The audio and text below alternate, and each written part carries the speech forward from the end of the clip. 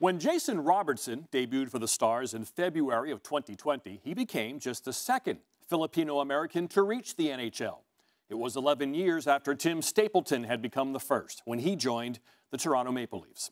But Robertson didn't have to wait long to see another Filipino in the league, and it was somebody he knows pretty well.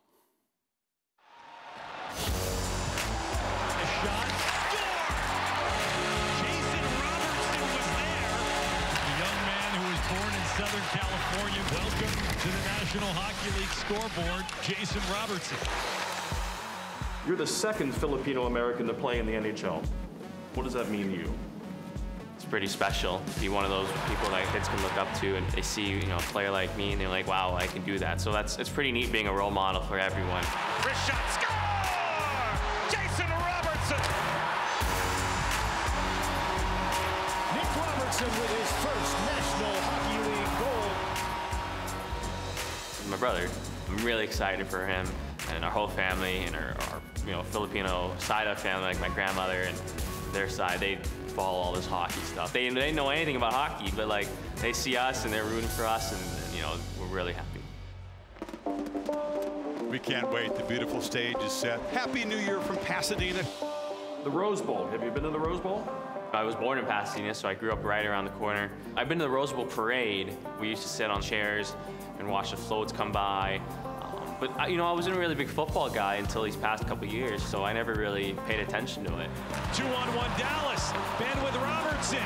Shoots, save, rebound, score! Jason Robertson. It's a walk-off winner to end the season. Why was an RV important to your early hockey career? My little brother, my older brother, we played on separate teams, so we'd go to the rink, one at five, seven, eight, and we'd just be like at the rink the whole day. So our parents just, you know, decided on buying an RV so we could be able to do schoolwork there, um, eat there, you know, train, change, shower, whatever it is, while the other you know, kid is practicing. So it was a pretty big sacrifice for my parents. I remember we'd leave at school like 3.34 and they get home at 9.30, 10 at night. My dad just bought a 42 foot RV and he was traveling to Florida, drive to Dallas, like a fun thing that my mom and dad enjoy while watching, you know, her boys in the NHL. Do you drive the RV? We did one uh, road trip from Dallas to Las Vegas after the end of the season. I never really touched the wheel. I was normally in the back sleeping. Eventually, I will get get, get on the reins and uh, take for a twirl. Really enjoy talking to Jason. He's a great kid, great personality, just a great American success story. His dad looks like a beauty. I want to party with that cowboy. uh, runner-up for the Calder last season behind Kaprizov. Highest finish for a star skater since Modano was runner-up more than 30 years ago. Again, he ranks in the top three for Dallas in goals, assists, uh, and points since the start of last season. He's a really good player. Looking forward to calling his game tomorrow in St. Louis against the Blues.